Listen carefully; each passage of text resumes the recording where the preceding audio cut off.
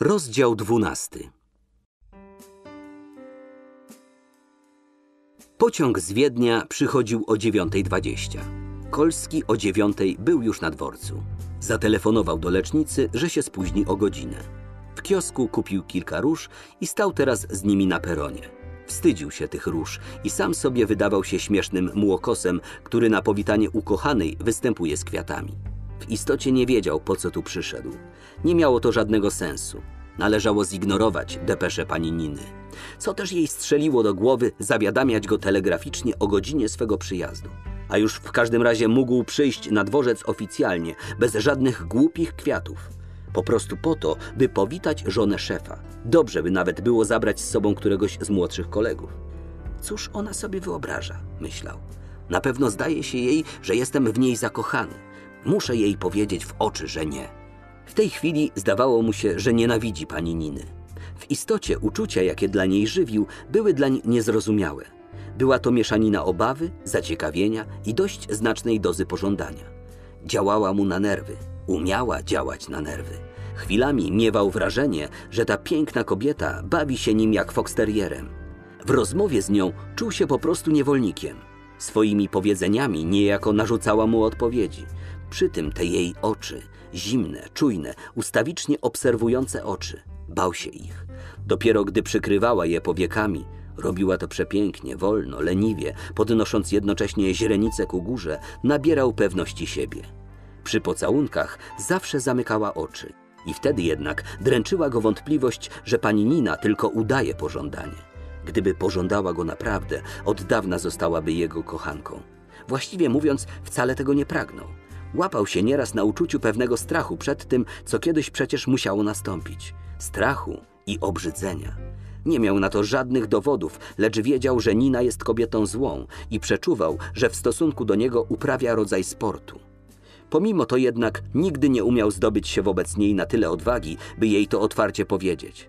Przed wyjazdem spotykała się z nim dość często, dwa, trzy razy tygodniowo. Chodzili razem na spacery, do łazienek lub ogrodu botanicznego. W razie niepogody przesiadywali tę godzinę w cukierni. Kiedyś powiedziała: Jutro przyjdę do pana. Chcę zobaczyć, jak pan mieszka. Musiał udawać uszczęśliwionego. W gruncie rzeczy był przerażony. Kupił jakieś owoce i butelkę wina. Starannie posprzątał w swoim mieszkaniu, usuwając wszystkie przedmioty, które mogłyby jej się wydać brzydkie. Miała przyjść o piątej i nie przyszła. Zatelefonowała koło szóstej, mówiąc: Jerzy jest w domu i absolutnie nie mogę wyjść. Mamy pecha. Czy nie gniewa się pan na mnie? Czy gniewa się? Był tak uradowany, że omal nie powiedział jej, że błogosławi profesora za to, że siedzi w domu. Odetchnął z ulgą i napisał długi list do Łucji. W kilka dni później zaprosiła go do siebie. Ponieważ wiedział, że o tej porze Dobranieckiego nie będzie w domu, szedł pełen obaw. Na szczęście skończyło się wszystko na pocałunkach. Sam nie wiedział, dlaczego się boi tej kobiety. Właściwie mówiąc, należało wyzyskać sytuację dla lekkiego romansu, lecz właśnie zdawało mu się, że romans z Niną stałby się dlań trwałym więzieniem, że uzależniłby się od niej zupełnie. I chociaż go pociągała zarówno swoją oryginalnością, jak i urodą, zarówno inteligencją, jak i aparycją wielkiej damy, wolał narazić się w jej oczach na posądzenie o sztubacką nieśmiałość i naiwność, niż zachować się jak mężczyzna. I teraz te kwiaty. Bezsensowne kwiaty. Na parę minut przed nadejściem pociągu zaczął się rozglądać, gdzie by je wyrzucić. Niestety, wszędzie było pełno ludzi. Nie mógł się przecież narazić na śmieszność, wyrzucając świeżo kupione kwiaty. Może ktoś widział, jak je kupował. A zresztą, chociażby i nie widział, każdy oczywiście od razu domyśliłby się motywów takiego postępku. Kolski był wściekły. Na domiar złego na sąsiednim peronie zauważył pannę Zarzecką. Nie ukłonił się, udając, że jej nie dostrzegł, lecz ukłuła go myśl. Naturalnie ta gęś zaraz napisze do Łucji, że widziała mnie na dworcu stojącego jak idiota z kwiatami. Tego tylko jeszcze brakowało. Wreszcie pociąg nadszedł. W oknie wagonu sypialnego stała pani Nina. Wydała mu się jak zawsze, jak za każdym razem znacznie piękniejsza niż ten obraz, który nosił w swojej pamięci. Powitała go promiennym uśmiechem i czułym, porozumiewawczym uściskiem ręki. Panna Zarzecka, jak na złość, stała naprzeciw i gapiła się na nich z irytującą bezczelnością. Przed dworcem czekała wielka limuzyna Dobranieckich. Dopiero siedząc w aucie, Kolski spostrzegł, że nie wręczył Ninie kwiatów i bezmyślnie międli je w rękach. Dostrzegła to i ona. Sama wyciągnęła po nie rękę i powiedziała – jaki pan dobry. I to ten mój ulubiony kolor. Wie pan, że w mojej wyobraźni kolory łączą się każdy z pewnym uczuciem? Ten kolor jest dla mnie tęsknotą. Czy tęsknił pan za mną? Oczywiście, odpowiedział z uczciwą miną. To bardzo ładnie. Spojrzała nań czule i końcami palców przesunęła po jego wargach. Chrząknął i zapytał. Jakże się miewa pan profesor? Wyraz twarzy Niny zmienił się od razu. Ach, wie pan, że jestem naprawdę zaniepokojona? Zwiększają się bóle głowy i często opanowuje go melancholia. Nawet nie chciałam go zostawić samego i nie przyjechałabym do Warszawy, gdyby nie... Uśmiechnęła się porozmiewawczo i ścisnęła go za rękę. Podniósł jej dłoń do ust. Cieszę się, że pani przyjechała. Sam nie wiedział, czy mówi to szczerze. Nie mógł zaprzeczyć, że bliskość tej kobiety podniecała go zawsze. Działała nań jak prąd elektryczny. Miała coś kociego w ruchach, jakąś miękkość i zdradliwość. Używała mocnych perfum, a skórę miała niewypowiedzianie gładką. Pochyliła ku niemu głowę, jakby zamierzała podać mu usta. Szofer, bąknął półgłosem. Jestem taka nieostrożna, powiedziała jakby ze skruchą. Na szczęście pan zawsze o wszystkim pamięta. Pochlebiło mu to. Przynajmniej staram się. Wie pan, że nawet czasami miewam panu za złe tę pańską wieczną przytomność umysłu? Czy pan nigdy nie potrafi się zapomnieć? Zrobił niezdecydowany ruch ręką. Owszem, przypuszczam, że czasami może się to zdarzyć. Ale dotychczas się nie zdarzyło. Zastanowił się i przypomniał sobie. Kiedyś w laboratorium ścisnął aż do bólu dłoń Łucji. Był wtedy prawie nieprzytomny. Trzeba panować nad sobą, powiedział zdawkowo. Ach, ci mężczyźni, pojąć nie mogę, za co was kochamy. Jesteście trzeźwi, straszliwie trzeźwi, a przecież cały wdzięk życia polega na umiejętności zapominania o prawach, o obowiązkach, o faktach, o przedmiotach. Trzeba umieć żyć sobą, sobą i kimś drugim. Auto dojeżdżało do Frascati. No, już jesteśmy na miejscu, odezwał się Kolski. Pani pewnie położy się, by wypocząć po podróży. Zaprotestowała żywo. Ależ bynajmniej. Wcale nie jestem zmęczona. Spałam świetnie. Nigdzie tak dobrze nie sypiam jak w sleepingu. Widocznie jestem stworzona do podróży. Czy pan lubi podróżować? Dotychczas podróżowałem bardzo mało. Byłem raz w Wenecji i raz w Berlinie, ale przyznam się pani, że mnie jazda w wagonie bardzo męczy. Uśmiechnęła się doń. Mój Boże, mamy tak krańcowo różne usposobienia. Pociesza mnie tylko, że les extrêmes se touchent. Wóz zatrzymał się przed drzwiami pałacyku. Z wewnątrz wybiegł lokaj. Szofer otworzył kufer auta i wyjmował walizy. Kolski zdjął kapelusz. Pozwoli pani, że ją pożegnam. Ależ to wykluczone, powiedziała z udawanym oburzeniem. Zje pan ze mną śniadanie. Już jestem po śniadaniu, proszę pani. Och, egoisto, i dlatego chce pan mnie skazać na samotność? Wzięła go pod rękę i skierowała się ku drzwiom. Będzie pan narażony na przykry widok nasycania się zgłodniałej istoty. Ludzie syci niczym się tak nie brzydzą, jak obserwacją odżywiania się głodnych. Jeżeli o panią chodzi, to o obrzydzeniu nie może być mowy. Ale jeszcze pan znalazł jakieś ale? Muszę być już w lecznicy. Koń gotów i zbroja. Dziewczyno ty moja, uściśnij, daj miecz. Niechże pan nie będzie zabawny z tym swoim pietyzmem dla obowiązków. Obejdą się bez pana. Niestety, zaczął, lecz mu przerwała. Niestety, nie umie pan wytrwać w dobroci dla mnie. Niechże pan mi nie odmawia. Cóż to za koszmar, pusty dom. Zaraz po powrocie. Będę się czuła fatalnie.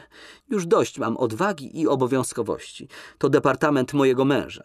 Niechże przynajmniej pan będzie dla mnie pobłażliwy i miły. Chodźmy, chodźmy. Już w holu powiedział. Obiecałem, że będę. Czekają na mnie. Więc zatelefonuje pan stąd, że jakiś pacjent, że jakaś pacjentka zatrzymała pana na mieście. Przecież może być pacjentka gwałtownie potrzebująca pańskiej obecności, nieprawdaż? Rozchyliła usta w uśmiechu i dodała. A ja właśnie gwałtownie potrzebuję pańskiej obecności, panie doktorze. Nie mógł się nie uśmiechnąć również. Nie zauważyłem tego. Wygląda pani kwitnąco. Ach, jednak dostrzegł pan to. Za to należy się panu nagroda. Rozejrzała się. Nikogo ze służby nie było. Wspięła się na palce i pocałowała go w usta. To jest pańskie honorarium uiszczone z góry. Teraz etyka lekarska nie pozwoli panu zostawić pacjentki bez opieki. Naprawdę musiał być w lecznicy, lecz nie umiał jej o tym przekonać. Była usposobiona kapryśnie, wesoło i frywolnie. Zresztą ostatecznie do lecznicy można było rzeczywiście zatelefonować. Niechże pan zostawi swój kapelusz. Przynaglała go. Chodźmy. W jadalni lokaj zdążył już postawić drugie nakrycie. Teraz musi pan grzecznie na mnie poczekać, mówiła, skubiąc klapę jego marynarki. W wagonie było jednak dużo kurzu. Wezmę kąpiel, ale nie zajmie mi to więcej czasu niż dziesięć minut. O, może pan przez ten czas rozmówić się telefonicznie z lecznicą i wymyślić jakieś katolickie kłamstwo na swoje usprawiedliwienie. Telefon był przeniesiony do sypialni. Nina rozmyślnie nie domknęła drzwi łazienki. Kąpiel widocznie była już przygotowana, gdyż po chwili do uszu Kolskiego dobiegł plusk wody. Rozmawiał ze starszą pielęgniarką, panią Zaczyńską. Po kolei systematycznie wydał dyspozycje co do wszystkich swoich pacjentów i powiedział, że ważne sprawy zatrzymują go na mieście. Gdy po pięciu minutach odłożył słuchawkę, usłyszał głos pani Niny. Skończył pan? Tak, proszę pani. No widzi pan, jak jest z pańską megalomanią? Zdawało się panu, że lecznica rozpadnie się w gruzy, jeżeli pan nie przyjdzie. Tymczasem świetnie się bez pana obejdą. Świetnie, nie świetnie. Właściwie powinienem tam być. Czy pozwoli pani, że zaczekam na nią w holu? Dobrze, ale przedtem niech mi pan poda płaszcz kąpielowy. Tylko proszę na mnie nie patrzeć. Kolski rozejrzał się po pokoju. Tu nie ma żadnego płaszcza, proszę pani. Oczywiście płaszcz jest tu, tylko wisi daleko ode mnie i nie mogę po nie sięgnąć. Więc jakże go pani podam? Zapytał zatroskanym głosem. Wybuchnęła głośnym śmiechem. Och, panie Janku, panie Janku, po prostu wejdzie pan do łazienki, zdejmie pan płaszcz z wieszaka i poda mi. Czyż dla pana, jako dla lekarza, widok kobiety nieubranej jest czymś nadzwyczajnym? Zapewne nie, odpowiedział po namyśle ale nie jestem tu w charakterze lekarza. A w innym charakterze nie widział pan nigdy kobiety nago? Był zupełnie speszony i dopiero po chwili się odezwał. W każdym razie nie mogę tego powiedzieć o takich kobietach, które szanuję, które wymagają szacunku. Widocznie rozbawiło ją to jeszcze bardziej, gdyż wciąż się śmiała. Upewniam pana, że żadna kobieta, która może się pokazać bez ubrania mężczyźnie, nie wymaga od niego szacunku. No niech pan mi da ten płaszcz. Nie było innego wyjścia. Trzeba było spełnić jej żądanie. Przygryzł wargi i wszedł do łazienki. Był to dość duży pokój kąpielowy, wyłożony różowymi kaflami. Na szczęście wanna znajdowała się w przeciwległym rogu, płaszcz zaś tuż przy drzwiach. Starał się na nią nie patrzeć lecz nie mógł ukryć swego zakłopotania. Siedziała w wannie, splecionymi rękami zakrywając piersi. Nie mógł nie zauważyć ślicznej spadzistości jej ramion i gorącego brązowego koloru jej skóry. Nadrabiając miną i starając się opanować niepotrzebną pospieszność ruchów, zdjął płaszcz i zbliżył się do wanny. Służę pani, powiedział głosem ochrypniętym. Ostrożnie, niechże pan go nie wrzuci do wody.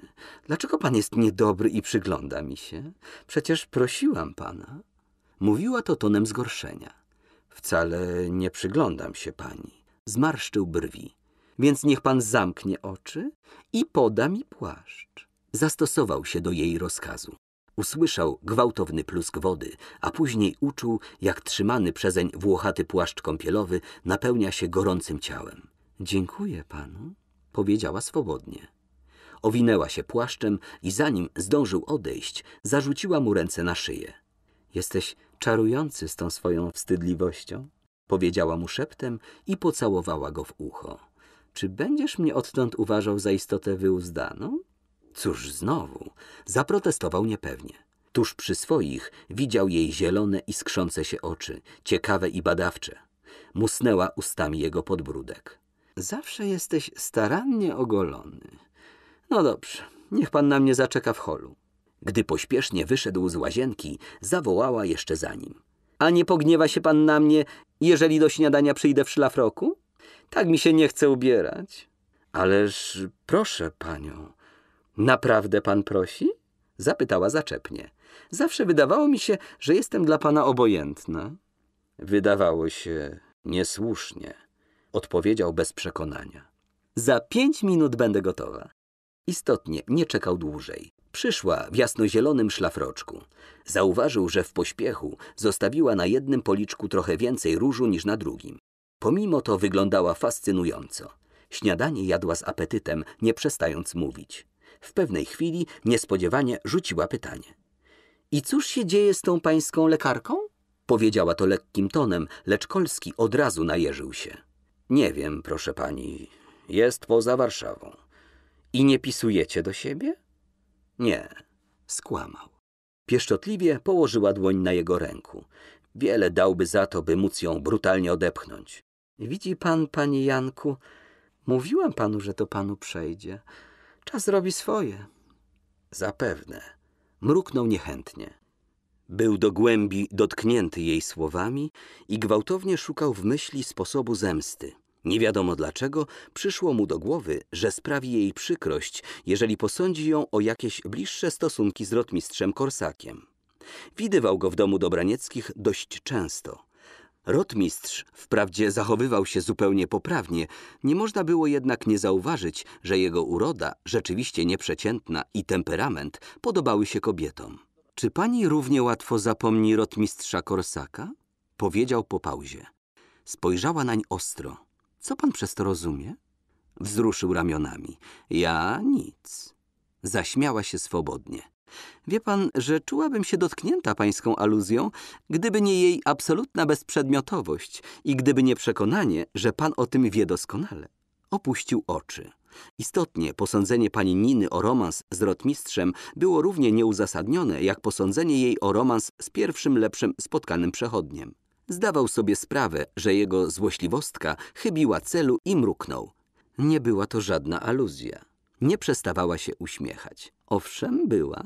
I pod pewnym względem sprawiła mi przyjemność. Przyjemność? Zdziwił się. Tak, przyjemność. Dała mi niezbity dowód, że pan jest o mnie zazdrosny. Chciał wzruszyć ramionami, lecz opanował się i powiedział. O zazdrości nie może tu być mowy. Tak trudno się panu do niej przyznać? Czy to taki wstyd być zazdrosnym o mnie? Milczał z opuszczoną głową. Pani Nina wstała, zbliżyła się do niego, delikatnie obu rękami uniosła głowę i pochylając się nad nim tak blisko, że czuł jej oddech, zapytała. Czyż jestem tak niepociągająca i aż tak brzydka? Zaczerwienił się. Ponownie uderzyła go jej piękność i jakiś nieodparty czar, wynikający z kontrastu zmysłowości ust i nozdrzy i chłodu wielkich, zielonych oczu. Jest pani piękna, powiedział cicho. Przesunęła kilkakrotnie końcami palców po jego włosach i twarzy i szepnęła. Tak szalenie tęskniłam za panem. W sąsiednim pokoju rozległy się kroki służącego. Wyprostowała się i zmieniła ton. Gorąco tu. Chodźmy do biblioteki, tam jest najchłodniej. W bibliotece okna były do połowy zasłonięte ciężkimi adamaszkowymi zasłonami. Panował tu przyjemny chłód i półmrok. Wskazała mu miejsce na szerokiej, wygodnej sofie. Kolski udał, że nie dostrzega jej gestu i wybrał przepaścisty klubowy fotel. Lecz pani Nina była zbyt doświadczoną kobietą, by zwrócić na to uwagę. Zapaliła papierosa i chodząc po pokoju, zaczęła opowiadać mu o swoim pobycie za granicą, o ludziach, których tam spotkała, o rozrywkach i spostrzeżeniach, których przywiozła mnóstwo. Najdziwniejszym z nich było to, że po raz pierwszy tęskniła, naprawdę tęskniła do kraju. Umiała mówić interesująco. Jasnozielony szlafroczek finezyjnie uwypuklał wspaniałą budowę jej ciała i oczy Kolskiego mimo woli nie mogły się oderwać od niej, tak jak i jego uwaga.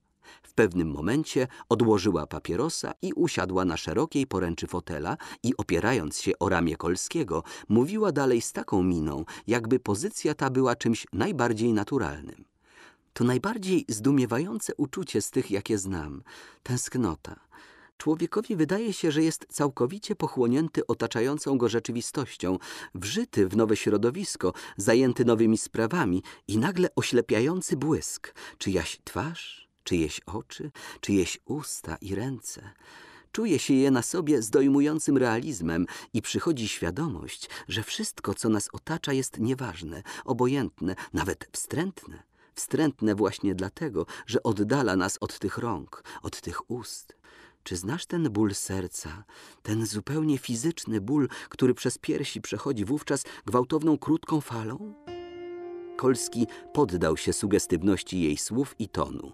W mgnieniu oka nie tylko wspomniał liczne chwile tęsknoty za Łucją, lecz właśnie taka chwila ogarnęła go teraz. Jej serce, jej jasne, ciepłe spojrzenie, jej usta, które przy mówieniu poruszają się tak, jakby w rozchyleniach warg formowały słowa, niczym dotykalne kształty z jakiejś niewidzialnej plasteliny. Usta, których nigdy nie całował i których nigdy nie będzie posiadał. Ból, dojmujący, fizyczny ból w sercu. Jak ona to dobrze powiedziała. Skąd ona to wszystko wie? Jak trafnie potrafi ująć? Wydała mu się teraz rzeczywiście jedyną istotą na świecie, która potrafi zrozumieć jego tragedię. Przecież na początku zbliżenia z takim naciskiem mówiła mu o tym, że cierpienia duszy stokroć łatwiej dadzą się ukoić, gdy czyjaś serdeczna pomoc, czyjeś mądre spojrzenie, czyjeś umiejętne, a głębokie uczucie weźmie na siebie część naszego strapienia. A jakże mógł wątpić o szczerości jej słów wypowiedzianych wówczas w nocy na tarasie, o uczuciach, o których mówiła teraz, o mądrości i znawstwie duszy ludzkiej, które odkrywał w niej za każdym razem. Czyż nie było szaleństwem to, że bronił się przed tym wszystkim, zamiast przyjąć jej dary z całą wdzięcznością i oddaniem? W milczeniu wyciągnął rękę i objął ją łagodnym, czułym ruchem. Jakby tylko na to czekała, zsunęła się na jego kolana miękko i ufnie. Tyle przeżyłam tam z dala od ciebie, tyle przemyślałam, mówiła cicho, ledwie dotykając policzkiem do jego skroni. Bywały takie nerwowe dni oczekiwań, dni bezsensownych nadziei. Wyobraź sobie, że ogarnęła mnie wówczas jakaś mania. Nazywam to przeczuciem. Oczekiwałam, że zrobisz mi niespodziankę i przyjedziesz. Wiedziałam, że to absurd. Śmiałam się sama z siebie, lecz przeczuć tych nie mogłam opanować. Pytali mnie wówczas, co mi jest. Umilkła i dodała po chwili. Czyż ja wiem, co to jest? Czyż ja potrafię to nazwać? Jakże wiele jest wyrazów, jak wiele określeń. Można się zgubić w ich lesie i nie umieć wybrać, i nie znaleźć odpowiedniego. Mówić o uczuciach to tak, jakby się chciało słowami opowiedzieć utwór muzyczny. Niepodobieństwo. Czy prawda? Tak.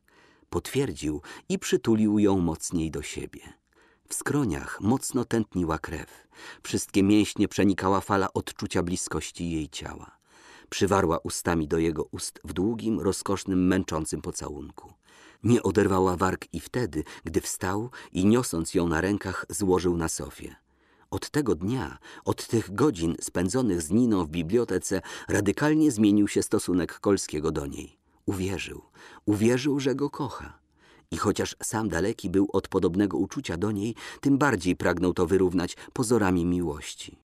Ze względu na opinię otoczenia nie mogli sobie pozwolić na zbyt częste widywanie się. Przychodziła doń dwa razy, rzadziej trzy razy w tygodniu.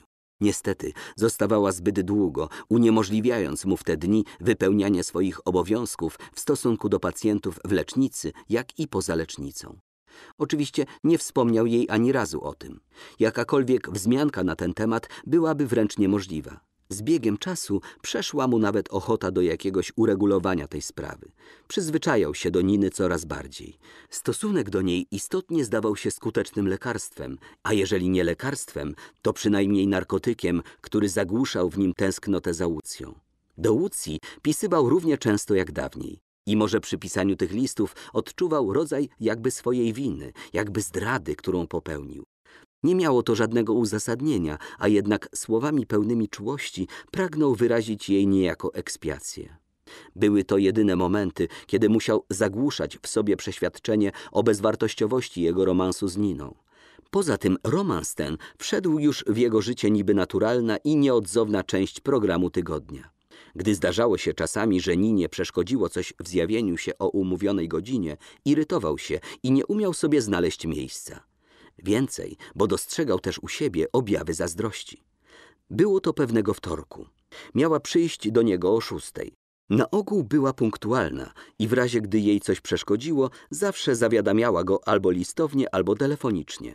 Tym razem było już w pół do siódmej, kiedy zdecydował się sam do niej zadzwonić. Słuchawkę podniosła pokojówka. Wymienił swoje nazwisko i zapytał, czy może prosić panią profesorową. Usłyszał wyraźnie. Zaraz zamelduję, panie doktorze.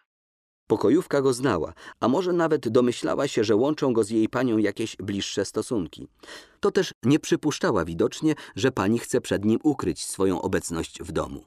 Po paru minutach wróciła i oświadczyła. Przepraszam pana doktora, ale pani nie ma. Pani wyjechała do Konstancina. Powtórzę pani, że pan doktor telefonował. Odłożył słuchawkę w pełni świadomości, że został okłamany. Sam rozkład pokojów w willi Dobranieckich i położenie aparatu telefonicznego wręcz uniemożliwiały to, by pokojówka nie wiedziała o tym, czy jej pani jest w domu. Musiała wiedzieć na pewno, że jest, skoro mówiła, że zamelduje. Widocznie istotnie zameldowała i usłyszała od Niny dyspozycję owego pomysłu o Konstancinie. Opanowała go wściekłość, oczywiście kłamstwo, popełnione w jakim celu? Cel mógł być tylko jeden – inny mężczyzna. Podważało tę hipotezę tylko jedno. Dlaczego w takim razie nie zatelefonowała doń sama z owym konstancińskim wykrętem? W ten sposób zaasekurowałaby się przed jego telefonem i przed zdemaskowaniem. Była przecież dość sprytna, by umiejętniej to zaaranżować. Odpowiedź na te wątpliwości zjawiła się prędzej niż się spodziewał. Zjawiła się pod postacią posłańca z listem. Na karcie papieru skreśliła kilka tylko słów. Muszę koniecznie odwiedzić Stefę w Konstancinie. Dostała znowu swego ataku. Jestem w rozpaczy, że cię dzisiaj nie zobaczę. N. Sięgnął do kieszeni po napiwek i zapytał posłańca. O której pan dostał ten list? O piątej, proszę pana. Ale to nie ja dostałem, tylko mój kolega. Tylko, że on nie mógł, to mnie oddał. A ja nie myślałem, żeby to coś pilnego było. Po wyjściu posłańca Kolski jeszcze raz przeczytał i z pogardą odrzucił kartkę daleko od siebie. Kartka jednak, jak bumerang, zatrzepotała w powietrzu i upadła mu pod same nogi. Podniósł ją i podarł na drobne kawałki. Więc to tak. Tak, droga pani. Ano zobaczymy. Wziął kapelusz i szybko zbiegł ze schodów. W pobliżu nie było taksówki. Gdy ją wreszcie znalazł, ochłonął już o tyle, że zamiast do Frascati kazał jechać do lecznicy. Nie spodziewano się go tu, a ponieważ nikogo z wyższego personelu nie było, przyłapał dwie pielęgniarki w swoim gabinecie, popijające kawę i zajadające ciastka w towarzystwie jakiegoś obcego pana. Miał w sobie tyle gniewu i chęci zemsty, że brutalnie powiedział: Jakim prawem pan tu wszedł? Kto pan jest? I co za libacje w moim gabinecie? Zażenowany młodzieniec zerwał się na równe nogi i z przerażeniem spoglądał na swoje towarzyszki, jakby od nich czekając ratunku. Te jednak milczały jak zaklęte. Czy panie nie wiedzą, coraz ostrzejszym tonem prawie krzyczał Kolski, że to jest niedopuszczalne? Że w lecznicy czegoś podobnego nie będę tolerował? To jest wykroczenie przeciw dyscyplinie, które nie ujdzie paniom płazem. Lecznica nie jest miejscem do wyprawiania orgii. To nie jest knajpa. Jak żyję, nie widziałem czegoś podobnego. My bardzo przepraszamy, panie doktorze, odezwała się jedna z pielęgniarek, z trudem opanowując drżenie głosu. Nie ma tu miejsca na żadne przeprosiny. Proszę opuścić mój gabinet. Natychmiast. Wychodzili tak pośpiesznie, że aż stłoczyli się w drzwiach. Kolski usiadł przy biurku i nacisnął dzwonek. Na progu stanął sanitariusz. Cóż to do diabła za porządki? krzyknął Kolski. Kto jest dzisiaj dyżurnym lekarzem? Pan doktor Przemianowski. Proszę do mnie poprosić pana doktora. Po minucie Przemianowski wystraszony zjawił się w gabinecie Kolskiego. Wieść o przyłapaniu panny Budzyńskiej i Kołpikówny wraz z ich gościem przez doktora Kolskiego rozeszła się już snać, gdyż Przemianowski z miejsca sam zaczął się tłumaczyć. Doprawdy o niczym nie wiedziałem, panie dyrektorze. Kolskiego, odkąd pełnił funkcję docenta Rancewicza, nazywano dyrektorem. Zazwyczaj sprawiało mu to przyjemność, choć oficjalnie nie miał tego tytułu. Teraz jednak powiedział surowo – nie jestem żadnym dyrektorem. Powinien pan o tym wiedzieć, panie kolego. Ale niestety, pan tak mało interesuje się tym, co się w lecznicy dzieje, że podczas pańskich dyżurów możliwy jest podobny skandal, by w moim gabinecie pielęgniarki urządzały sobie libacje z jakimiś bubkami sprowadzanymi z miasta. Uprzedzam pana, że będę musiał o tym zawiadomić pana profesora Dobranieckiego po jego powrocie do Warszawy. Byłem właśnie na drugim piętrze przy krwotoku. Zaczął młody lekarz. Kolski przerwał mu ruchem ręki. Przecież nie proszę pana o wyjaśnienie. Jutro pan będzie łaskaw wpisać ten wypadek do kart personalnych obu pielęgniarek z zaznaczeniem, że zdarzyło się to podczas pańskiego dyżuru. Gdy Przemianowski wyszedł, Kolski zaczął nerwowo chodzić po pokoju. Za każdym razem, gdy mijał biurko, machinalnie sięgał po małe, kruche ciasteczko i ani się spostrzegł, jak zjadł wszystkie. Stwierdzenie własnego roztargnienia rozchmurzyło go nieco i udobruchało. Spotkawszy podczas wieczornej inspekcji pannę Budzyńską, powiedział jej Niech pani poradzi swojej koleżance, by na przyszłość podobnych rzeczy nie robiła. Tym razem nie wyciągnę z waszego postępowania żadnych konsekwencji. Również przy sposobności i przy Mianowskiemu dał do zrozumienia, że cały incydent puszcza w niepamięć. Pomimo to wyszedł z lecznicy przygnębiony i pożerany zazdrością. Po drodze, nie wiadomo skąd, przyszło mu do głowy, że u Niny, gdy do niej telefonował, był właśnie ów rotmistrz Korsak. Wprost gotów był ręczyć za to, chociaż wiedział dobrze, że rotmistrz przebywa obecnie na manewrach gdzieś w Małopolsce Wschodniej. Gdy tylko znalazł się w swoim mieszkaniu, postanowił jednak zdobyć pewność. W tym celu zadzwonił do mieszkania rotmistrza. W aparacie rozległy się uspokajające, przeciągłe dźwięki. Nikt słuchawki nie podnosił. Było już po dwunastej i w mieszkaniu rotmistrza nie było nikogo. Już chciał odłożyć swoją, gdy usłyszał zaspane i rozgniewane. Halo, Czy mogę mówić z panem rotmistrzem? Zapytał, zmieniając głos. jestem u licha, ale czy nie mógłby pan wybrać odpowiedniejszej pory? Kolski bez słowa położył słuchawkę i zaczął myśleć gorączkowo. Jak postąpić? Jak zareagować na niewątpliwą zdradę Niny? Nie miał wprawdzie w ręku niezbitych dowodów, ale wystarczyło mu samo przeświadczenie. W pierwszej chwili chciał napisać do Niny długi, szyderczy list, list obraźliwy i obrażający. Przychodziły mu na myśl jadowite epitety, zjadliwe porównania, ironiczne aluzje. Taki list byłby wspaniałą zemstą. Czy jednak kobieta typu Niny, kobieta tchórzliwa, podstępnie zdradzająca kochanka, z którym chociaż mogła uczciwie i po prostu zerwać, zasługuje na jakąś zemstę?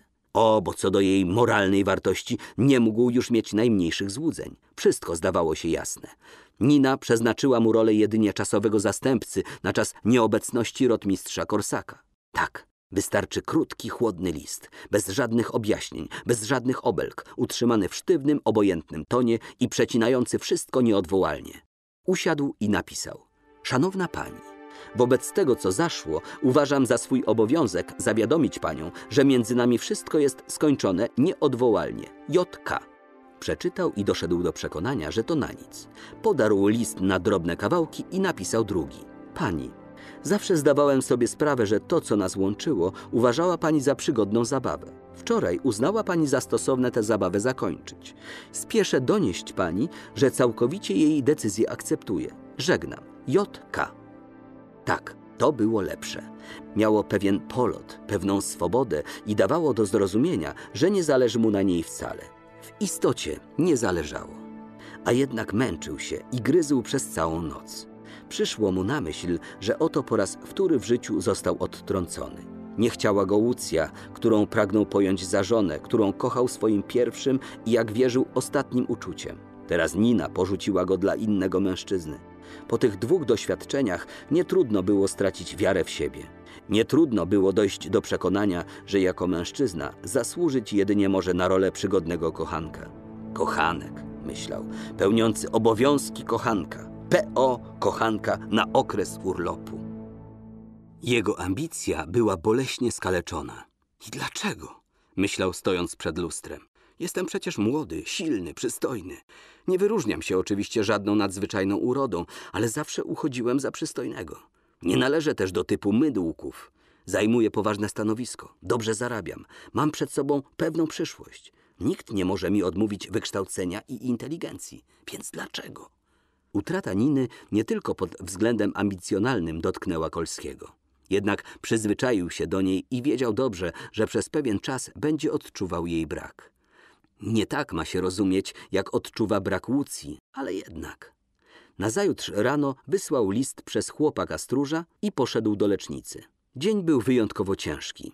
Przywieziono kilku nowych pacjentów, których trzeba było od razu wziąć na stół. Obie sale operacyjne były zajęte od ósmej rano do drugiej po południu bez przerwy.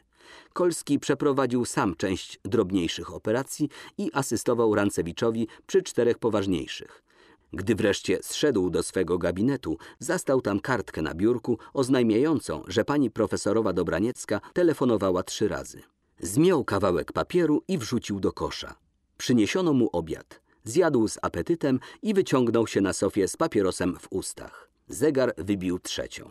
Miał jeszcze pół godziny na odpoczynek. Ktoś zapukał do drzwi. Proszę, niechętnie rzucił Kolski. Do pokoju weszła Nina. Zerwał się z kanapy i sięgnął po marynarkę wiszącą na oparciu krzesła. Nina wyglądała prześlicznie. Śmiało patrzyła mu w oczy. Twarz miała posągowo spokojną. Powoli otworzyła torebkę, wydobyła z niej list Kolskiego i zapytała niemal wyniośle. Co to ma znaczyć? Spojrzał na list, jakby go pierwszy raz w życiu widział. W palcach Niny wyglądał tak, jakby był czymś ohydnym, wstrętnym, brudnym, czymś, co się bierze do ręki tylko po to, by natychmiast odrzucić. Zmarszczył brwi i odwrócił głowę. Chciałam zapytać, co oznacza ten niezrozumiały dla mnie list. Kolski spojrzał na nią z nienawiścią. Zrozumiał, że ta kobieta chce wyzyskać to, że on nie posiada żadnych dowodów jej zdrady. Powiedział sucho. Sądzę, że nie mamy o czym dyskutować, proszę pani. Wzruszyła ramionami. Nie zamierzam dyskutować. I nie po to przyszłam. Chciałam zażądać wyjaśnień. Kolski milczał. Przypuszczam, że mam do tego prawo, że wysyłając do mnie podobny list, musiałeś mieć jakieś powody. Oczywiście, miałem je. Czy mogę coś o nich wiedzieć? Przygryzł wargi. Wiesz o nich znacznie więcej niż ja. Żadna komedia tu nie pomoże. Moje postanowienie jest ostateczne. Zmierzyła go zimnym spojrzeniem i nie bez ironii zapytała. A skądże wiesz, że chcę wpłynąć na zmianę twojego postanowienia? Skąd masz tę pewność? Kolski zmieszał się. Więc tym lepiej. Lepiej dla nas obojga. Mruknął. Być może, mój drogi. Jednak rozumiesz, że twój list mnie obraził i że po prostu żądam od ciebie satysfakcji pod postacią wyjaśnienia, którego nie możesz mi odmówić. Służę ci, odpowiedział Kolski, nie patrząc na nią. Czy pozwolisz, że usiądę? Przysunął jej krzesło i mówił. Zdradzasz mnie. Przekonałem się o tym wczoraj ponad wszelkie wątpliwości. Ponad wszelkie? Podniosła brwi. No proszę. Tak, wybuchnął. Zdradzasz. Gdy zatelefonowałem, by się dowiedzieć, dlaczego się spóźniasz do mnie, służąca oświadczyła mi, że jesteś w domu. Tak ci powiedziała? Powiedziała coś, co oznaczało to samo. Powiedziała, że zaraz cię poprosi do telefonu, a wróciła z oświadczeniem, żeś wyjechała. Gdybyś istotnie wyjechała, ona nie mogłaby o tym nie wiedzieć. Byłaś w domu i byłaś nie sama. Oczywiście, przyznała spokojnie Nina. A w dodatku byłam tak naiwna, że nie uprzedziłam służby, by zataiła moją obecność w razie twojego telefonu. Zaśmiał się ironicznie. O nie, wcale nie byłaś naiwna, tylko nie spodziewałaś się mojego telefonu, bo byłaś pewna, że w porę otrzymam twój list. Niestety najsprytniej obmyślone machinacje czasem zawodzą. Jakaś drobna przeszkoda, jak na przykład niedbalstwo posłańca i wszystko wychodzi na wierzch. W rysach jej twarzy nie było ani śladu zaniepokojenia. Zapytała spokojnie. I cóż wyszło na wierzch? Zrobił zniechęconą minę. Po co mamy poruszać te nieprzyjemne sprawy?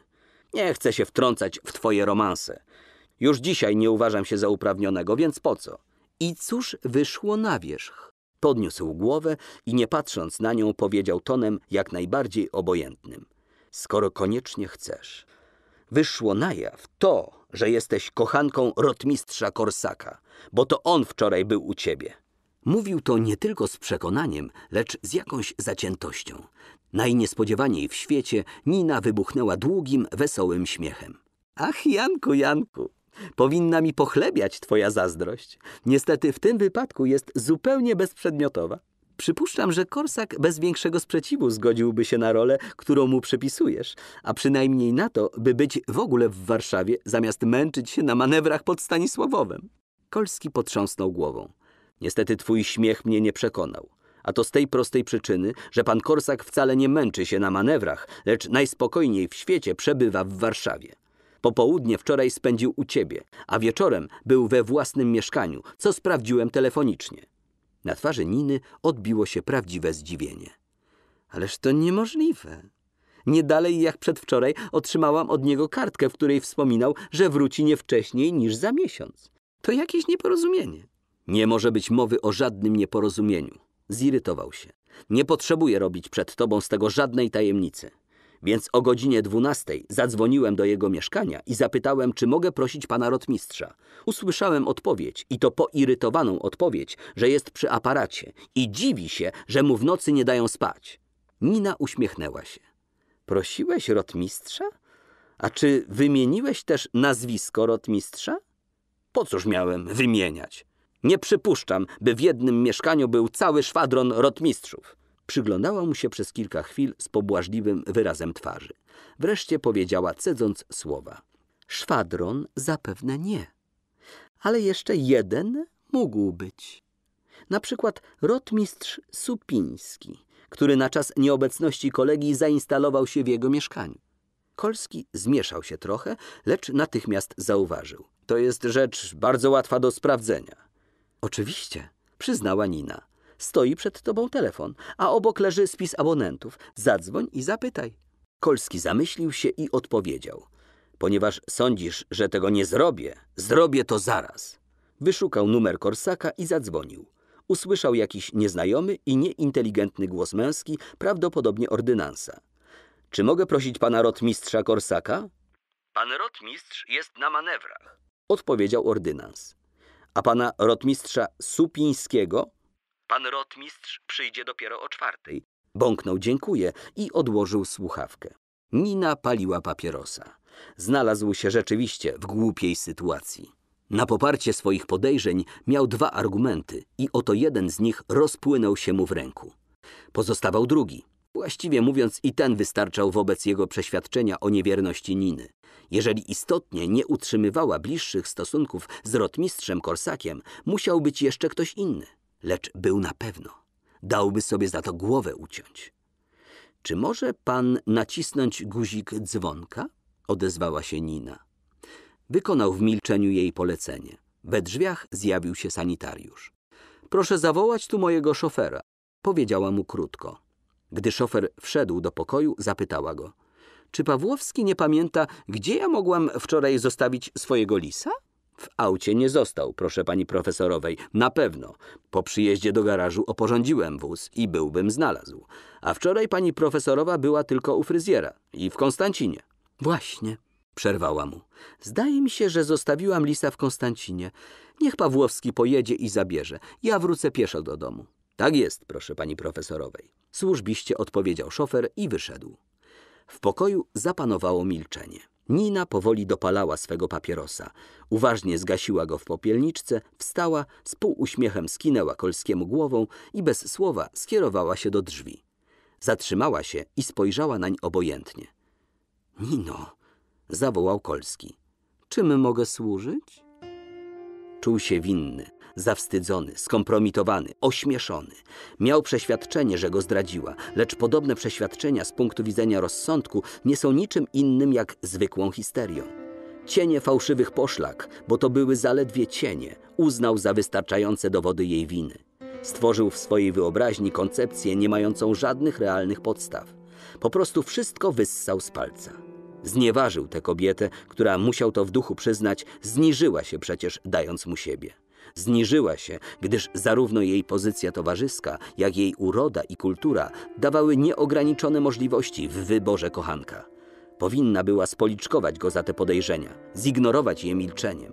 Wyświadczyła mu wielką łaskę już tym, że chciała się usprawiedliwić i zrobiła to tak po pańsku, tak wytwornie i tak boleśnie, że podziałało to silniej od policzka. Zachował się jak gbur, zachował się jak zazdrosny smarkacz. Nino, zaczął mówić, winienem ci przeprosiny. Rzeczywiście postąpiłem zbyt pochopnie i niesłusznie cię obraziłem. Czy możesz mi przebaczyć? Uśmiechnęła się ironicznie. O, nie przepraszaj mnie jeszcze przedwcześnie. Możesz tego później żałować. Sprawdź, czy cię nie oszukałam. Przeprowadź śledztwo. Wybadaj służbę. Może przekupiłam szofera i tego tam ordynansa. Wynajmij detektywa. Nie znęcaj się nade mną, powiedział pokornie. Ninie zaiskrzyły się oczy. Oczywiście wynajmij detektywa. Z takim nędznym płazem jak ja należy postępować metodami policyjnymi. Przecież ja jestem twoją kochanką nie dlatego, że cię kocham, tylko dlatego, że to jest dla mnie łaska i zaszczyt. Czyż mogłabym marzyć o takim szczęściu? Na kolanach co dzień powinnam za to dziękować dobrym losom, bo któż inny mnie by chciał? Wziął ją za rękę i powiedział błagalnie. Nie drwij ze mnie, Nino. Nie drwię, raczej drwię z siebie. Bo czyż to nie komiczne, że zabiegam o twoje uczucia wówczas, gdy ty poniewierasz moje? I naprawdę, Janku, najbardziej mnie zabolało to, że posądzasz mnie o tchórzostwo i małoduszność. Zastanów się, człowieku, co mogłoby mi przeszkodzić w tym, by przyjść do ciebie i powiedzieć otwarcie: Mam dość ciebie, pokochałam innego. Tak, tak, Nino, przyznał, obcałowując jej ręce. Przebacz, przebacz. Byłem niemądry. Czy zdołasz mi przebaczyć? W jej oczach zjawił się smutek. Nie zdołam nie przebaczyć, powiedziała cicho. Tylko nie wiem, kiedy będę mogła cię widzieć. Sam to rozumiesz. Rozumiem, przyznał. Muszę się pogodzić z sobą. Nie dzwoń do mnie i nie pisz, póki nie odezwę się sama. Lekko musnęła wargami jego policzek i wyszła. Pierwszego dnia Kolski nie mógł oderwać myśli od tej przykrej sprawy, której był autorem dzięki swej głupiej zazdrości i przesadnej imaginacji. Nazajutrz poprawił mu się humor. Był kontent, że wszystko dobrze się skończyło. Trzeciego dnia z rana, przechodząc przez plac Napoleona, przed samą pocztą spotkał rotmistrza Korsaka. Stanął w miejscu tak, jakby nagle otrzymał silne uderzenie po ciemieniu. Zatrzymał się i rotmistrz. Był po cywilnemu. Miał na sobie sportowe, szare ubranie i sportową czapkę. Przez rękę przewieszony płaszcz. W ręku nieduży neseser. Kordialnie wyciągnął do Kolskiego dłoń. Witam, doktorze. Co słychać w Warszawie? Ależ upał. To pan rotmistrzu nie na manewrach? Zdołał wydobyć z siebie Kolski. Korsak podniósł ostrzegawczo palec do ust. Css, to wielka tajemnica. Wyrwałem się na krótko do Warszawy. Kolski odzyskał już panowanie nad sobą i zaśmiał się prawie swobodnie. Oczywiście szersze la femme. Rzucił pytająco. Jest pan zanadto domyślny, doktorze. Rotmistrz przymrużył oko. No, ale żegnam. W wagonie był taki kurz, że czuję się jak kundel wytarzany w piasku. Muszę się wykąpać. To wprost z dworca? Zaciekawił się z niedowierzaniem Kolski. Tak, potwierdził Korsak. Czołem. Przyłożył niedbale rękę do daszka sportowej czapki i zniknął w tłumie. Po chwili namysłu Kolski wsiadł w taksówkę i kazał się zawieść na dworzec. Przejrzał rozkłady jazdy. Rzeczywiście, rotmistrz mógł mówić prawdę. Przed piętnastu minutami przyszedł pociąg z Lwowa. Teraz już nic nie rozumiał. Wieczorem miał wielką ochotę zadzwonić do Niny. Zamiast tego jednak zadzwonił do mieszkania Korsaka, by sprawdzić, czy jest w domu. Oczywiście, jeżeli w domu go nie będzie, to znaczy, że przesiaduje u Niny. Jakież było zdumienie Kolskiego, gdy usłyszał od ordynansa. Pana rotmistrza Korsaka nie ma w Warszawie. Jest na manewrach. Wróci za miesiąc. Jedno z dwojga. Albo zatrzymał się w hotelu, albo ukrywając swój pobyt w Warszawie, zakazał ordynansowi zdradzania jego obecności. Tak czy owak należało rzecz wyjaśnić. Nie mógł dłużej pozostawać w niepewności. Szybko przebrał się i wyszedł z domu. Po pięciu minutach był już we Frascati. Zadzwonił. Czy zastałem panią profesorową? Zapytał. Drzwi otworzył lokaj. Nie, nie ma, proszę pana doktora, ale ma niedługo przyjechać. Może pan doktor zaczeka. Tu już czeka pan Howe. Kto taki? Zdziwił się Kolski, który nigdy tego nazwiska nie słyszał. Mr. Howe, ten Anglik. Istotnie w holu siedział bardzo przystojny, bardzo blady młodzieniec o zblazowanej twarzy z monoklem w lewym oku. Ujrzawszy Kolskiego wstał, wolno poprawił monokl, jeszcze wolniej wyciągnął rękę i wymówił swoje nazwisko. W ogóle cały był au ralenti. Co to za małpa, myślał Kolski i skonstatował, że młodzieniec ma na sobie smoking. Mamy dziś szalony upał. Zwrócił się doń uprzejmie. Mr. Howe odpowiedział skrzywieniem jednego kąta ust, co mogło nawet przypominać uśmiech. I do not understand. I'm sorry. Okazało się, że ani słowa nie umie po polsku, ani po francusku. Ponieważ język niemiecki znali bardzo słabo, rozmowy, którą prowadzili przez pół godziny, nikt nie mógł nazwać ani zbyt ożywioną, ani interesującą, zważywszy i to, że absolutnie nic sobie nie mieli do powiedzenia. W każdym razie Kolski dowiedział się, że Anglik bawi w Warszawie od miesiąca i że swój powrót do kraju uzależnia od pewnych spraw, dla których tu przybył. Dowiedział się też, że w Warszawie Mr. Howe nie zna prawie nikogo poza panią Dobraniecką, którą miał zaszczyt poznać na Rivierze Francuskiej. Prawdziwą ulgą dla obydwóch był dzwonek oznajmiający powrót pani domu. Ninę ani zaskoczyła, ani zdziwiła obecność Kolskiego. Była w tak świetnym humorze, w jakim jej Kolski nie pamiętał od dawna. Wyglądała przy tym przynajmniej o pięć lat młodziej. Po krótkim powitaniu i paru zdaniach angielskich, rzuconych zblazowanemu młodzieńcowi, zwróciła się w przelocie do Kolskiego. Spodziewam się, że bawili się tu panowie dobrze. Nie umiem po angielsku. Mruknął Kolski. Ach, jaka szkoda. Przepraszam was, muszę się przebrać. Jeszcze jedno zdanie po angielsku, skierowane wraz z miłym uśmiechem do Mr. Jimmy'ego i znikła w głębi mieszkania, a pozostali panowie z powagą podzielili się poglądem, że jest to piękna i czarująca osoba. W kwadrans później zjawiła się Nina we wspaniałej wieczorowej toalecie i jednocześnie otworzyła drzwi do jadalni. Na stole były cztery nakrycia. Gdy usiedli, pani Nina powiedziała od niechcenia po polsku. Twoje podejrzenia, o dziwo, realizują się. Może jesteś jasnowidzem. Właśnie dziś przyjechał rotmistrz Korsak. Telefonował i zaprosiłam go na kolację. Dzwoniłam też do ciebie, chociaż nie przewidywałam, że zechcesz odegrać rolę przyzwoitki. Ponieważ cię nie zastałam, zwróciłam się o pomoc do Mr. Howe.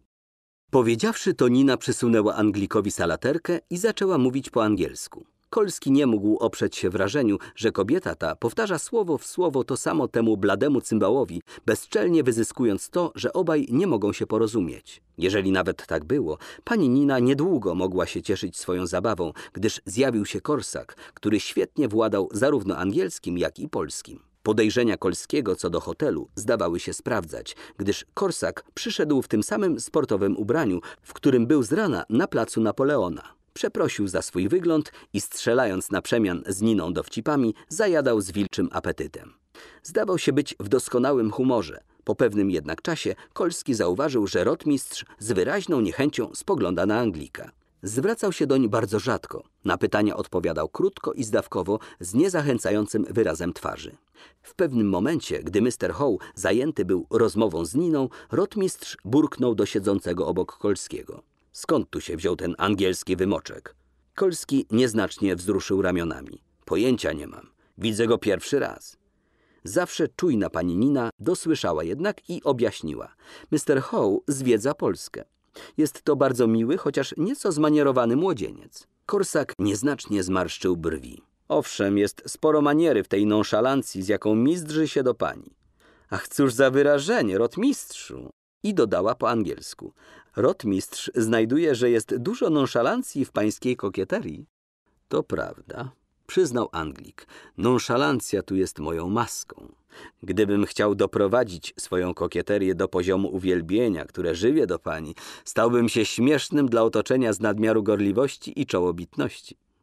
Kolski nic nie zrozumiał. Nie przypuszczał zresztą, by w słowach Anglika mogła być jakaś rewelacyjna treść, ale sposób, w jaki ten młodzieniec spoglądał na Ninę, mógł budzić poważne obawy. Tak patrzeć na kobietę ma prawo tylko człowiek, którego z nią łączą najbliższe więzy i zupełne spoufalenie. Kawę podano w holu. Tutaj już rotmistrz nie ukrywał zupełnie swojej antypatii do Anglika. Nawet wobec Niny stał się chłodny i impertynencko uprzejmy. Rozmawiał tylko z Kolskim. Rozmawiał bardzo serdecznie, jakby tą serdecznością chciał podkreślić różnicę, jaką robi między nim a resztą towarzystwa. Kolski był mile tym zaskoczony i sam coraz chętniej spoglądał na Mr. Howe. Około jedenastej Korsak wstał z wyraźnym zamiarem pożegnania pani domu. W jego podniesionej głowie i w całej postaci było coś jakby obrażona godność. Niech pan zostanie. Niezwykle ciepłym i miękkim tonem powiedziała Nina.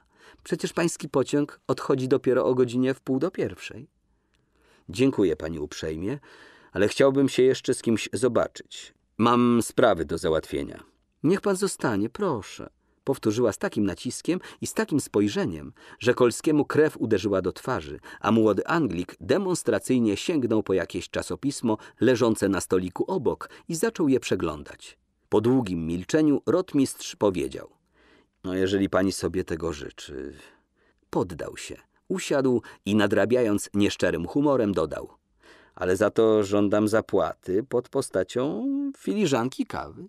Otrzyma pan ją natychmiast, powiedziała i wstała, by napełnić jego filiżankę.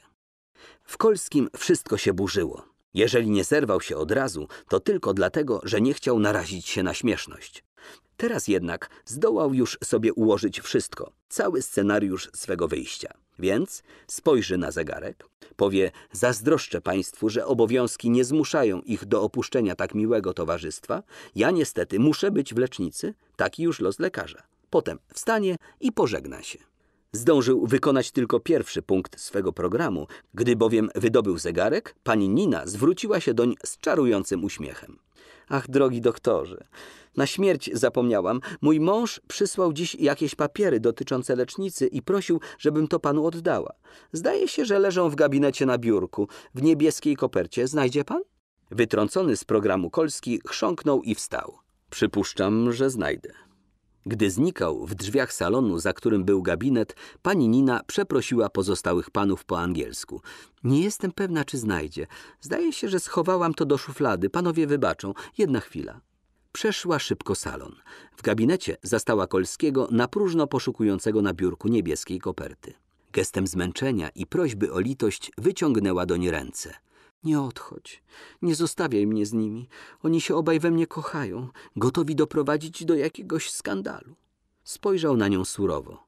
Oni w tobie, a ty w nich, chociaż doprawdy trudno mi już wyznać się, w kim się kochasz. Nie wiesz w kim? Zapytała mrużąc oczy. Zanim zdążył się cofnąć, zarzuciła mu ręce na szyję i obsypała pocałunkami. Ot w kim, ot w kim, ot w kim, powtarzała gorącym szeptem. Chciałam cię ukarać za twoje brzydkie podejrzenie i nie odezwać się do ciebie przez tydzień, ale jestem tylko słabą kobietą. Już dzisiaj dzwoniłam, a jutro? Jutro przyjdę do ciebie o zwykłej porze. Teraz proszę cię, idź tam do nich i zajmij się jakoś nimi. Nie mogę przecież dopuścić do tego, by mój dom, by dom mego męża stał się terenem awantury. To by mnie skompromitowało, sam rozumiesz. I mam prawo prosić cię o pomoc. Pamiętaj, że ty jesteś jedynym człowiekiem, którego mogę prosić o pomoc. Nie odmówisz mi jej, prawda? Idź, idź do nich. Gdy się zawahał, dodała. Muszę sobie poprawić usta i włosy po tych pocałunkach, no i trochę ochłonąć. Pewno mam wypieki. Kolski, idąc przez nieoświetlony salon, myślał. Albo jest ona szatanem przebiegłości i zepsucia, albo nadzwyczajny zbieg okoliczności tak stale przemawia przeciw niej. Wbrew oczekiwaniom w holu zastał obu panów zajętych spokojną i powolną wymianą zdań. Widocznie polor towarzyski wziął jednak górę nad wzajemną antypatią. Gdyby oni wiedzieli, myślał Kolski, że to, o co walczą między sobą, należy do mnie. Nie dokończył tej myśli, gdyż wróciła Nina. Wywiązała się dość ożywiona rozmowa po angielsku, w której oczywiście Kolski nie brał udziału. W pewnym momencie Nina spojrzała na zegarek i powiedziała – no już teraz nie zatrzymuję panów. Mr. Howe ma tu swój samochód i jest tak uprzejmy, że odwiezie panów. Żałuję, że nie mogę skorzystać z tej uprzejmości. Z uśmiechem odpowiedział rotmistrz. Wolę przejść się. Mam jeszcze przeszło pół godziny czasu, a noc jest taka piękna. Pożegnali się z Niną i jednocześnie wyszli.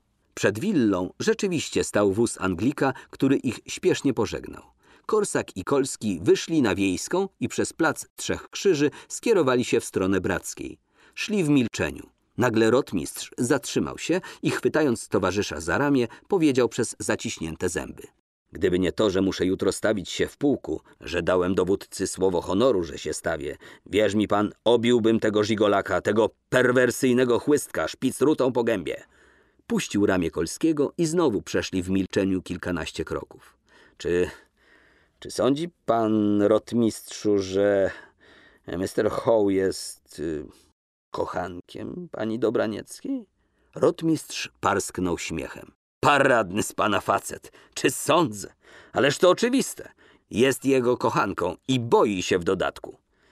Z czego pan wnioskuje, że się boi? Złamanym głosem zapytał Kolski. Jak to z czego? Przecież to zupełnie wyraźne. Miałem z nią zjeść kolację we dwójkę. Tymczasem przylazł ten wymokły bęcwał i nie odważyła się go wyprosić. Dlaczego? Bo się go boi. Albo boi się go stracić. Takie międzynarodowe zblazowane typki to różne rzeczy umieją, panie drogi. I dorzucił po pauzie. Świnie. Ulice prawie były puste. pogaszono część latarń. Po upalnym dniu chłodne powiewy sprawiały wielką satysfakcję. Kolski jednak prawie tego nie dostrzegł. Naturalnie, odezwał się znowu rotmistrz. Pana musiała też zaprosić w ostatniej dopiero chwili, by ratować wobec mnie sytuację. Wobec pana? zauważył Kolski. Wynikałoby z tego, że jest również pańską kochanką. Rotmistrz spojrzał nań jak na wariata. Ach, cóż znowu, bynajmniej, powiedział niechętnie. Kocham się w niej, bez wzajemności. Na zakończenie prychnął jakoś dziwnie i umilkł. Dochodzili już do Marszałkowskiej, gdy rotmistrz zatrzymał się i wbijając palec wskazujący w lewe ramię Kolskiego powiedział Czy zastanawiał się pan kiedy nad dziwną zagadką psychologiczną? Powiedzmy, masz pan romans z mężatką. Masz pan romans i już, rzecz zwyczajna. Wiesz pan doskonale, że ona rzadziej lub częściej musi obdarzać męża swoimi względami. Tego męża spotykasz pan do ciężkiego diabła codziennie i w gruncie rzeczy nawet go lubisz. Jakże inaczej wygląda sprawa, gdy ta sama mężatka ma do czynienia nie tylko z mężem, lecz jeszcze z jakimś facetem. Flaki się wtedy panu przewracają. Rozszarpałbyś gacha na pięćdziesiąt kawałków. Co to może być u licha? Skąd ta różnica? Kolski potrząsnął głową. Nie wiem, nie znam się na tym. Właśnie. Filozofowie tam o różnych rzeczach piszą, o jakichś tam, panie, krytykach czystego rozumu i innych faramuszkach, które się nigdy nikomu na nic nie przydadzą, zamiast zająć się życiowymi sprawami. No tak. Nie bój się pan. Za cztery tygodnie kończą się manewry i nie życzę temu skunksowi, bym go jeszcze zastał w Warszawie. A z pana to byczy chłop. Słowo daję. Po moim powrocie do Warszawy musimy się częściej spotykać. Gra pan w brydża? Bardzo słabo. No to się pan poduczy. A teraz do widzenia, bo mi pociąg ucieknie. Czołem. Kolski zawrócił w stronę domu. Miał takie uczucie, jakby unurzał się w bagnie. Lecz o dziwo, główny ciężar jego oskarżeń nie zwracał się przeciwko Ninie. Wydała mu się istotą tak małą i tak płytką, że po prostu nie można jej było obarczać normalną ludzką odpowiedzialnością za popełnione czyny. Ani obarczać, ani karać. Karanie jej byłoby takimż nonsensem, jak na przykład znęcanie się nad psem czy kotem za to, że zjadł kawałek mięsa pozostawionego bez dozoru. Zwierzątko, sprytne, przebiegłe zwierzątko o prymitywnych instynktach. Przede wszystkim odczuwał zmęczenie. To najcięższe z wszystkich, moralne zmęczenie, graniczące z apatią i wstręt do siebie. Jak mógł znaleźć się w podobnej sytuacji? Wierzył tej kobiecie, ale to jego wina, bo chciał wierzyć. Tylko jego wina. Absolutnie nie miał do niej żalu, tylko niechęć do siebie. W tym tkwiła najboleśniejsza nauczka na przyszłość. Nie zbliżać się nigdy do tych kobiet, których etykę możemy postawić na chwilę bodaj pod znakiem zapytania. Tej nocy pisał do Łucji. Zdaje mi się, że można przejść przez bagno, a wyjść zeń jeszcze czystszym, jeszcze lepszym niż je było przedtem. Czy podziela pani moje zdanie? Teraz dopiero rozumiem przypowieść o synu marnotrawnym i to, dlaczego zawsze głębiej do mnie przemawiała podświadomie świętość Marii Magdaleny niż świętość Teresy. Jakże mi trzeba wytchnienia i fizycznego, i duchowego, jakże mi brak rozmów z panią. Zastępuję je sobie w ten sposób, że pisząc do pani lub czytając jej listy, jej drogie, dobre listy, mam przed sobą pani fotografię, z której patrzą na mnie te same znajome, najpiękniejsze oczy na świecie. Istotnie, napisanie tego listu wpłynęło kojąco na jego nerwy i gdy zasypiał, był już zupełnie spokojny. Wszystko, co przeżył ubiegłego dnia i w ciągu ubiegłych miesięcy, wydało mu się czymś niezmiernie odległym, jakąś mało interesującą historią, opowiedzianą przez kogoś obojętnego i to bardzo dawno. Czuł się teraz od tego o sto mil. Tak dalece przekreślił w sobie Ninę i związane z nią sprawy, że nie przyszło mu na myśl zawiadomić jej o tym. To też o godzinie piątej, gdy usłyszał dzwonek w przedpokoju, w pierwszej chwili nie przyszło mu nawet do głowy, by to mogła być Nina. Gdy ją zobaczył, nie mógł opanować zdziwienia, które ona wzięła za coś innego i udała, że nic nie dostrzega. Wyciągnęła do niej rękę znużonym ruchem. Ach, tak strasznie ci dziękuję za wczoraj. Nie możesz sobie wyobrazić, jakie to było dla mnie męczące. Jeszcze do tej chwili nie mogę ochłonąć z tych okropnych wrażeń. Weszła do pokoju i bezwładnie usiadła na kanapie. W białej, jedwabnej sukience bez rękawów, z malutkim dekoltem, wyglądała prawie dziewczęco, naiwnie, kapryśnie i świeżo. Była prawie nieumalowana lub też robiła to tak umiejętnie, że jej opalenizna, niebieskie cienie pod oczami, brwi, rzęsy i wargi zdawały się mieć naturalny kolor. Kolski przyglądał się jej powierzchowności z niedowierzaniem.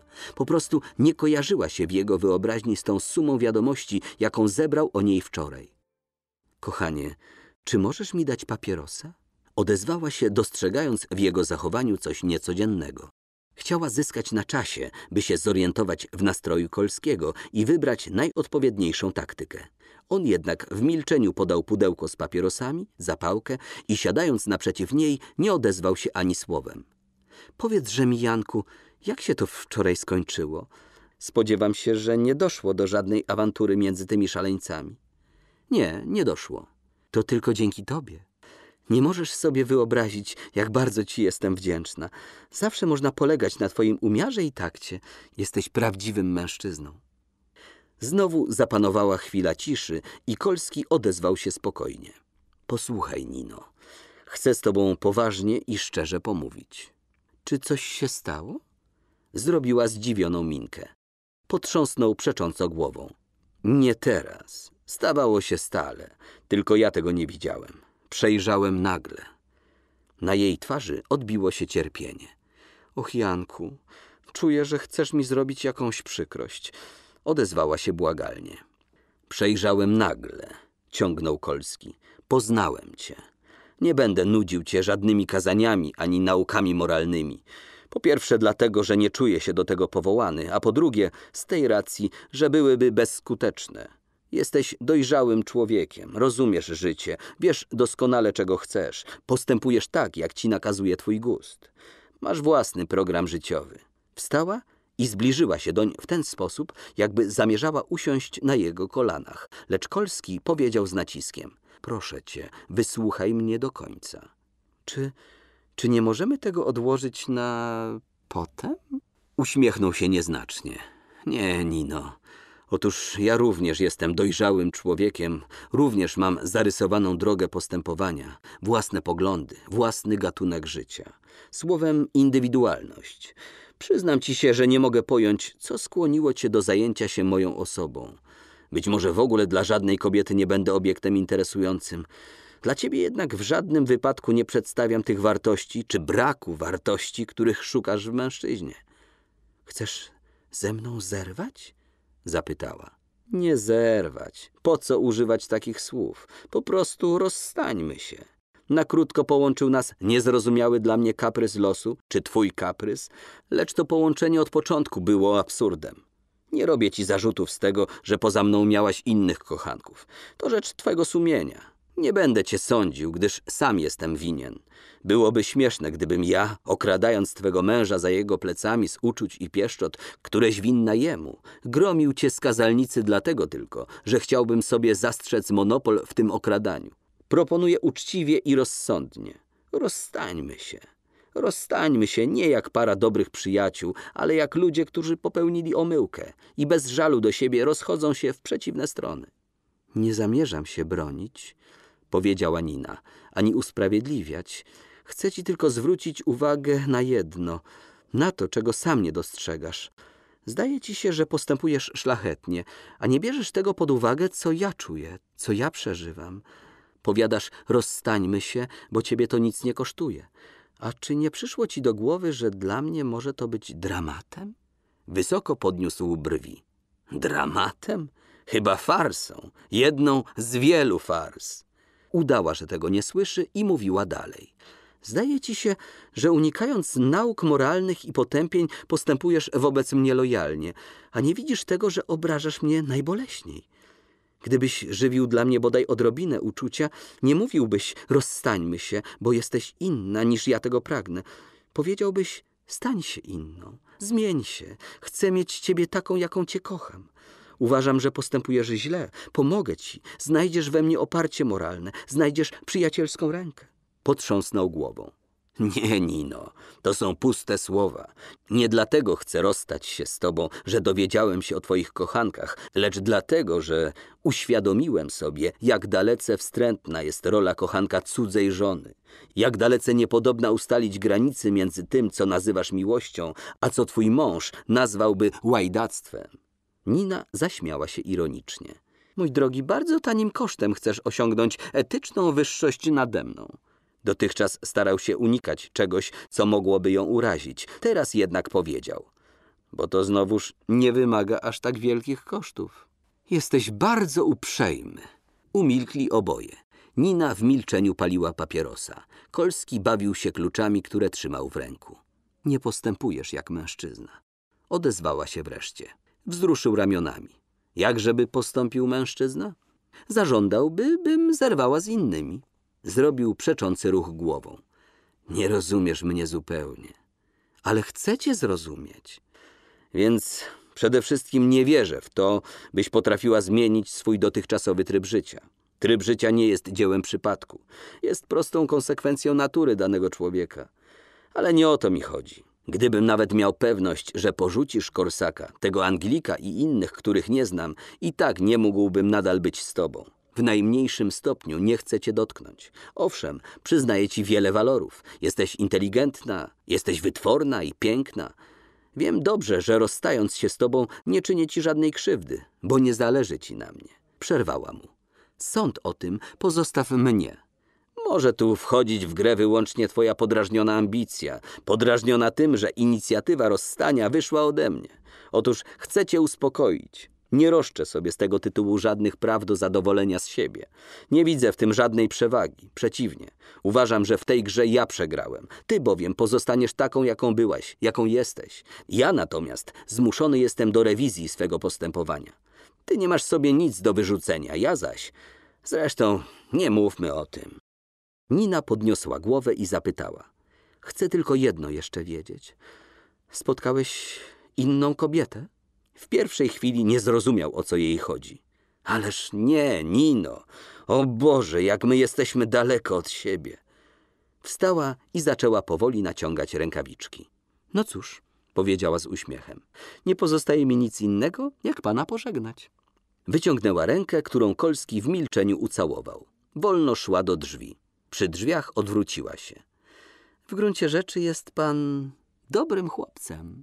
Zanim zdążył coś odpowiedzieć, wyszła. Od tego dnia nie widywał jej wcale. Minęły trzy tygodnie.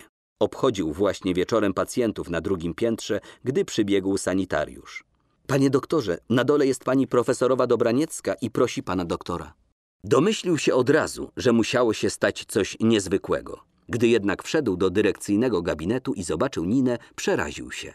Była blada, oczy miała głęboko podkrążone, ręce jej się trzęsły. Co pani jest? Zapytał szczerze zaniepokojony. Głos jej drżał, gdy mówiła. Mój mąż. Jest bardzo źle z moim mężem. Pan profesor wrócił? Nie. Otrzymałam list z Marienbadu. Doktor Hartmann pisze, że stwierdzono nowotwór pod czaszką. To już podobno tylko kwestia miesięcy, czy nawet tygodni. Straszne, straszne. Na pewno nie udawała. Jej rozpacz była szczera. Było to dla Kolskiego niespodzianką. Nina musiała być jednak przywiązana do męża, a może nawet kochała go po swojemu. W oczach miała łzy. Pochylił się nad nią. Niech pani nie traci nadziei, powiedział swoim zawodowym tonem pocieszającego lekarza. Podobne diagnozy bywają mylne, a zresztą tego rodzaju nowotwory dają się usuwać. Wątpię, by w Marienbadzie byli dość poważni specjaliści z tej dziedziny. Otarła łzy. Dałby Bóg. Jerzy chce wrócić do Warszawy, ale nie może być mowy o tym, by wracał sam. Musi mieć w drodze odpowiednią opiekę. Czy, czy pan pojechałby ze mną? Ależ oczywiście, proszę pani. Doktor Hartmann radzi zabrać Jerzego jak najprędzej. Boże, Boże, właśnie to naglenie przeraża mnie. Czy ma pani przy sobie list Hartmana? Zaprzeczyła ruchem głowy. Chciałbym go przeczytać. Nie ma w tym liście żadnych ściślejszych danych, ale mogę go panu przysłać. Zamyślił się i powiedział. Nie widzę racji, dla której mielibyśmy odkładać wyjazd. Muszę się tylko porozumieć z Rancewiczem. Kiedy pani może być gotowa? Ach, w każdej chwili. Następnego ranka Kolski wraz z Niną wyjechali pociągiem pośpiesznym do Marienbadu.